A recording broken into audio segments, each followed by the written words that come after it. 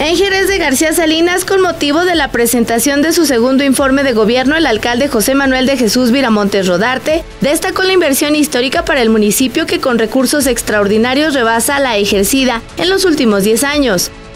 En Chalchihuites, la producción de leche y sus derivados es la principal fuente de empleo de por lo menos 100 agremiados a la Asociación Ganadera Local de Chalchihuites. Sin embargo, durante los últimos meses el panorama económico para ellos ha sido complicado. Ello obedece principalmente a que la persona que les compraba la leche ya no lo hace, por lo que todos los agremiados se vieron obligados a comenzar a elaborar este tipo de productos, lo que implica que se incremente la competencia.